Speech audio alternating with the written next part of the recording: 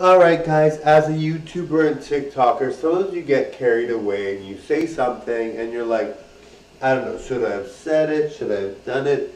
And it's not a big deal really. I'm a positive creator, so most of the time when I say something negative about someone or have a hard time with someone, it's not a huge deal because I'm very positive, right? Like, I don't clap back.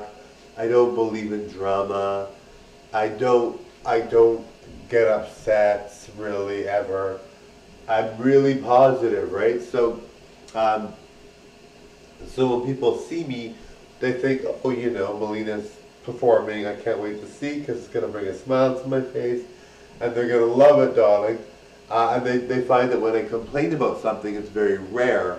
And it's not like I do it in droves or I don't, I don't really, you know, say something very negative. And if I do, I, I tend to have an explanation as to, you know, if it's a hater or something or whatever, I tend to explain, well, they're doing badly or they're not doing as well. I have to be understanding or I'm more compassion, show compassion, whatever. But this thing, this thing that happened to me at my car salesman job is incredible. So I really have to remember that um, it's not it's not something you ever take lighthearted or ever feel bad about, you know.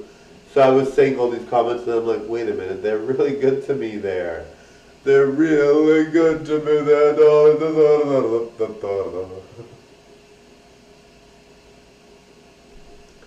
Anyway, guys, I hope you enjoyed the show, guys. It's been a slice. Bye now.